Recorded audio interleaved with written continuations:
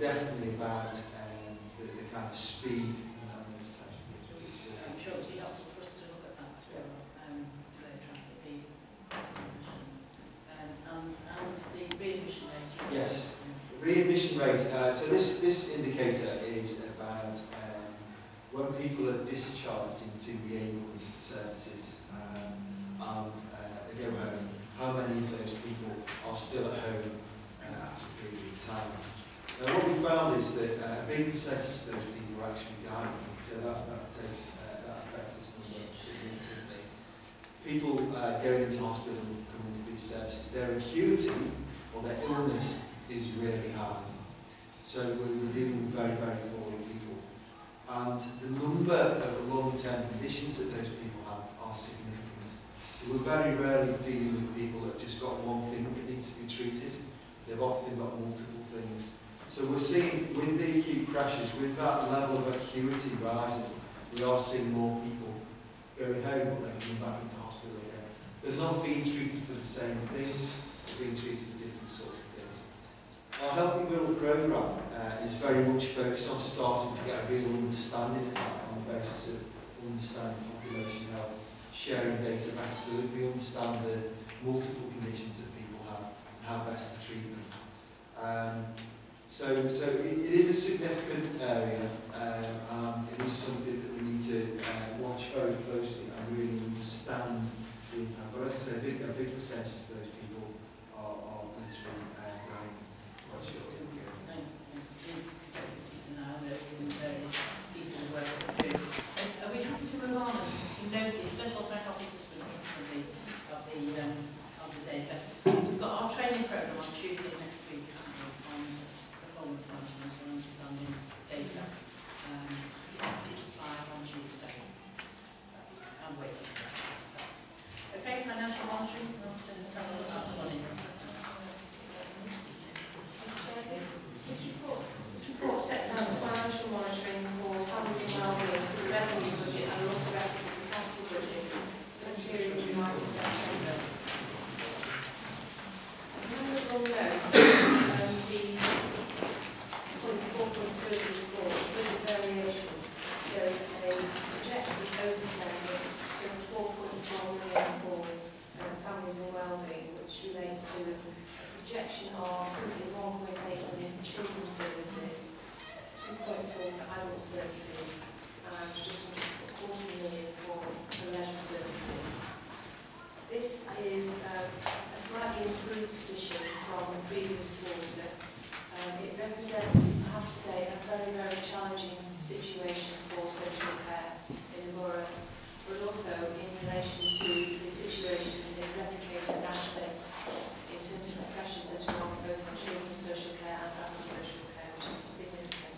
Significant in terms of the, the complex issues that we're dealing with, but also the volume of, of pressures that are coming to our front door and the management of that. I think it also shows that um, over the past few years, social care in the Wirral has taken a sin- considerable reduction in the funding overall.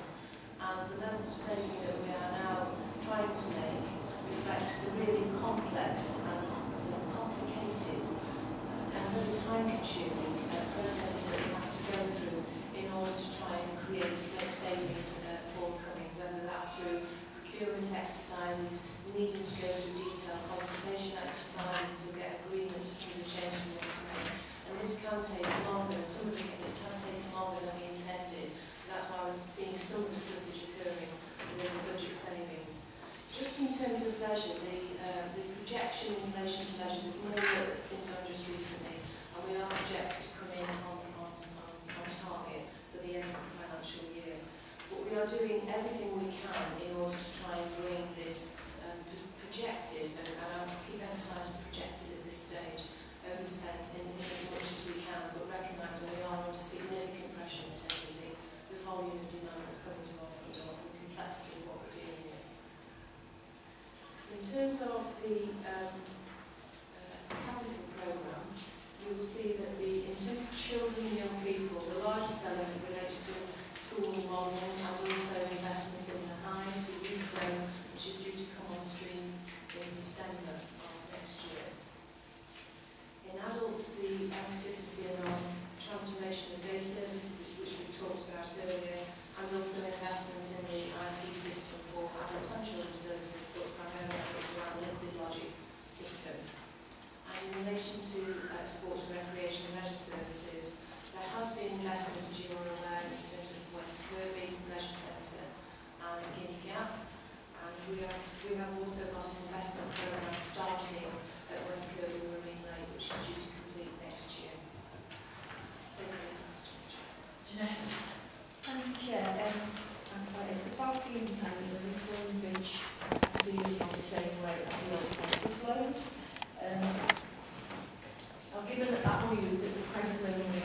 to local authorities as a way of saving money. I'm concerned, especially in our country, independent and disabled people. Do you have any idea whether the funding will, I know it says here that we determine it's going to use.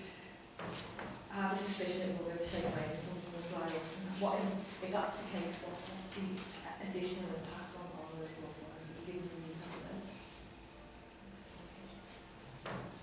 Uh, okay, so, so in terms of this year, the uh, money has been transferred to the cost of those people, and those people are now supported by the local authority.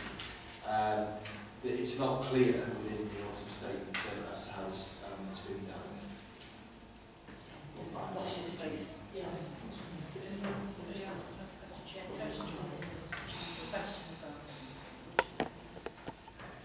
Can you, uh, can you elaborate on what, what is causing the increased amounts of people seeking this need uh, at our front door?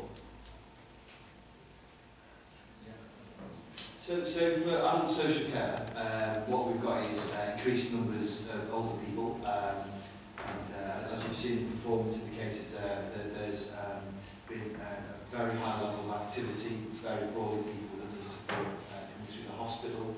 Roughly half of our new work comes through the hospital, um, and many of those people need um, support in terms of domiciliary care services or in terms of residential nursing home placements. And made more placements than we've expected this year, but not, not hugely more.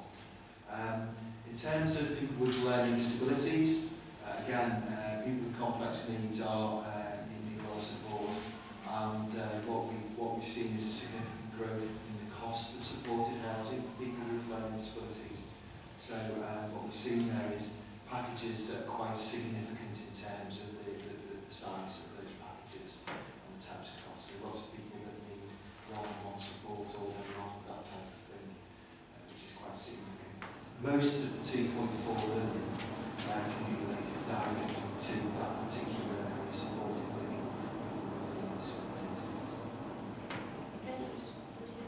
Just briefly, in terms of children, I think um, increasing numbers of referrals have in part been about greater understanding and awareness of issues such as domestic abuse, uh, where you know from Lisa the referrals was really high, um, and child sexual exploitation, where there's much better understanding of what some of these issues are. And the more you know, the more you see, and, and there is more being referred. Um, I think in terms of domestic abuse referrals, um, speaking to John Martin, the area commander, he was saying that there's been a 36% increase uh, now, as opposed to this time last year, in reporting of domestic abuse to the police. And we don't know whether that's more domestic abuse happening or, as I say, better awareness and reporting. But there is a sense that some economic hardship that people are experiencing more and more is impacting on complex issues, particularly as neglect and, and volatility in households, um, presenting more challenges. Okay, um, Alan? Yeah, it was, uh, well, no, it's a question, definitely a question. Um, we, I mean, we've got our 2020 vision. We know we're, we've got a government that's there at least to 2020, and we know the savings are coming down the track. And it's really, how much uh, time and resources have we got to actually plan right through the next three, four years in terms of the level of savings that we can achieve? Not just saying, well, we need to take 500,000 out here a million, but actually to look at it in a bit more detail as to actually how we would achieve the inevitable savings that we're going to be asked to make.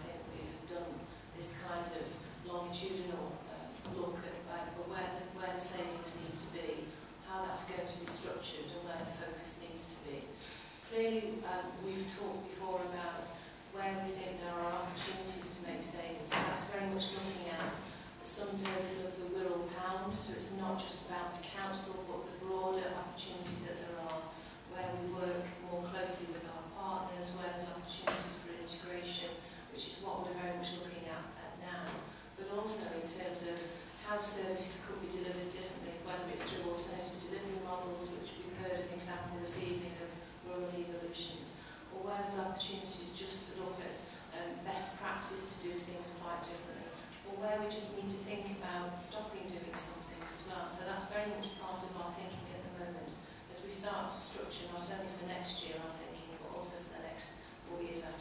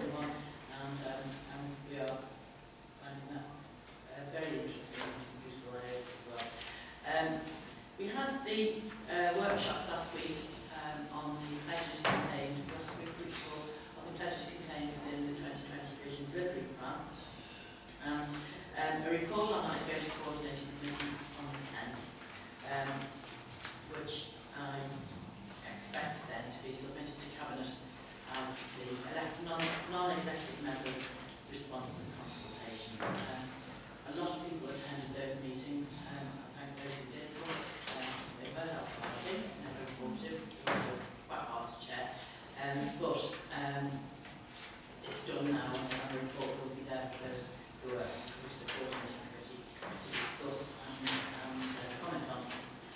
Um, we're also uh, taking the report to the next coordinating committee on how uh, budget options, which we don't know what they are, this time, budget options can be scrutinised by three committees. Um, I hope that the coordinating committee would bring a common approach to those um, next week. Um, as far as the work plan, the work programme goes, coming forward, we, we've got a request from Wirral Community Trust to have a focus on session, um, which we'll try and arrange in the near future. Um, and we are still